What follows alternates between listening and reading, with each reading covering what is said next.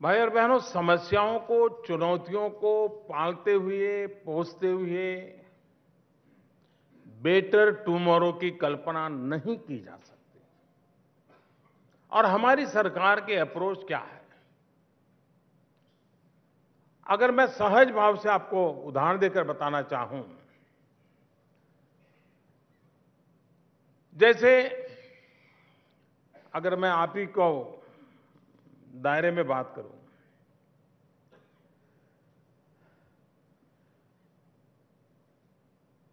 यानी सिर्फ़ हिंदुस्तान टाइम्स को ही पूछ रहा हूँ, ऐसा नहीं, लेकिन मैं आपकी दुनिया से पूछ रहा हूँ।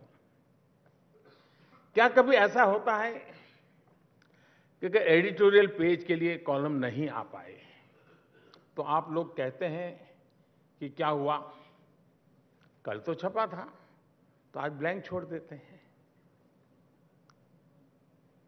कभी ऐसा हुआ क्या? नहीं हुआ। या कभी ऐसा हुआ हो कि अखबार के आखिरी पेज के लिए कोई खबर ही नहीं बची और उसे ब्लैंक छोड़ दिया गया हो? यह सोच लिया गया हो कि पहले पेज से जब रीडर पढ़ना शुरू करता है तो आखिर पहुँचते पहुँचते थक जाएगा वो, कहाँ देखने वाला है? छोड़ दो आज, लास्ट पेज खाली रखो। मुझे पूरा पता है कि आप लोगों ने हिंदुस्तान टाइम्स के इतिहास में या किसी भी अखबार ने अपने इतिहास में ऐसा कभी नहीं किया होगा। अखबार का हर पेज उत्तम से उत्तम बने। इसके लिए आपके रिपोर्टर्स, आपके न्यूज़ रूम के लोग जान लगा देते हैं। लेकिन साथियों, आप जानकर हैरान हो जाएँगे कि हमारे यहाँ तो सरकारों ने देश के एक बहुत बड़े हिस्से को ही ब्लैंक छोड़ दिया था। देश के ये वो ज़िले थे जो सबसे पिछड़े थे।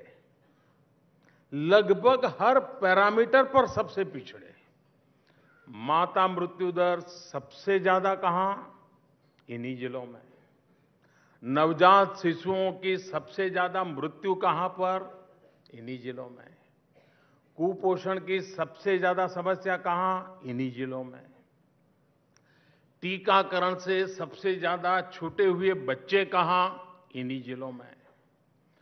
पानी का, बिजली का, सड़कों का सबसे ज़्यादा संकट कहाँ? इन्हीं जिलों में। अब कॉन्ट्रास्ट देखिए, विरोधाभास देखिए।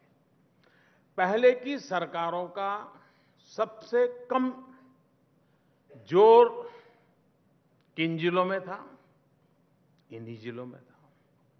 सरकार के मंत्रियों की सबसे कम बैठकें किन जिलों में हुई? इन्हीं जिलों में हुई। सरकार के सबसे कमज़ोर अफसरों की पोस्टिंग कहाँ हुई? इन्हीं जिलों में हुई। यानी सरकार की मॉनिटरिंग से सबसे दूर कौन रहा? यही ज़िले रहे। यानी विकास की दौड़ में आखिरी पेज पर रहने वाले इन जिलों को ब्लैंक छोड़ दिया गया। अपने नसीब पर, अपने हाल पर छोड़ दिया गया था। साथियों, आज जब हम बेटर टुमारो की बात कर रहे हैं तो मैं आपको ये भी बताना चाहूँगा कि इन जिलों में पाँच दस लाख नहीं, देश के पंद्रह करोड़ अत्यंत गरीब लोग रहते हैं। ये लोग मुख्यतया आदिवासी हैं, जनजातीय हैं, दलित हैं, पिछड़े हैं। क्या बेटर टुमारो के लिए इनके सपने कोई मायने नहीं रखते थे? क्या इन जिलों के गरीबों को अपने उज्जवल भविष्य का सपना देखने का अधिकार नहीं था? मैं सभागृह में बैठे हुए लोगों से पूछना चाहता हूँ, आपने मामित का नाम सुना है क्या? नामसाई का नाम सुना है क्या?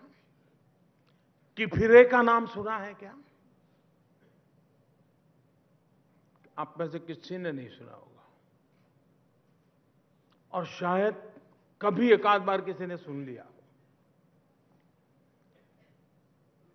ये क्या है? ये हमारे देश के जिलों के नाम है। लेकिन कालाहांडी का नाम तो आपको जानते होंगे। गुमला तो आपको पता होगा। बेगूसराय हमारे कान पे पड़ता है। गढ़चिरौली बस्तर हम सुनते रहते हैं।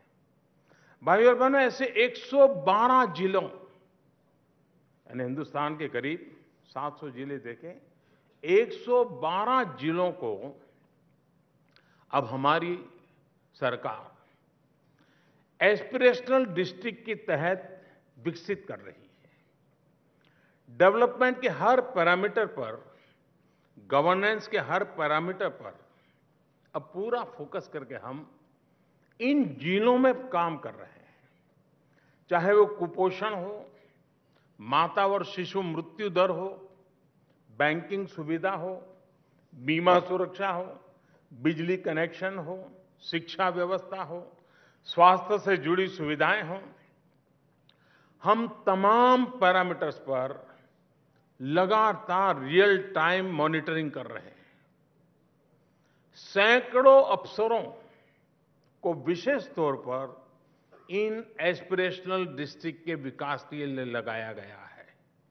आमतौर पर सरकारी मुलाजिमों के प्रति नफरत का भाव उनके प्रति देखने का एक नेगेटिव टेम्परामेंट एक लंबे काल से बना हुआ है। लेकिन आपको जानकर खुशी हुई कि दिल्ली में एयर कंडीशन कमरों में बैठने वाले सैकड़ों अफसर सैकड़ों अफसर, इन दिनों लगातार, महीने में दो बार, तीन बार, उन दूर दराज के डिस्ट्रिक्ट में जाकर के बैठते हैं। दो दो तीन तीन दिन वहाँ रहते हैं। उस टीम के साथ बैठ करके, रणनीति बना करके इंप्लीमेंट कर करके चीज़ों को बदलने के लिए खुद कोशिश कर रहे हैं। भारत सरकार के केंद्रीय दफ्तर के सैकड़ों मुलाजिमों का हिंदुस्तान के दूर दराज के इलाकों में दो दो दिन ट्रैवलिंग करना पड़ता है। जा रहे हैं। ये बेटर टुमारो की तो गारंटी है। और आज मैं हिंदुस्तान टाइम्स के मंच से कह रहा हूँ, भारत के ओवरऑल डेवलपमेंट पैरामीटर्स को सुधारने के लिए सबसे बड़ा पुश इन्हीं 112 एस्पिरेशनल डिस्ट्रिक्ट से मिलने वाला है। जब यहाँ के लोगों का भविष्य सुधरे सुधरेगा तो भारत का भविष्य अपनों आप सुधरना शुरू दिखेगा।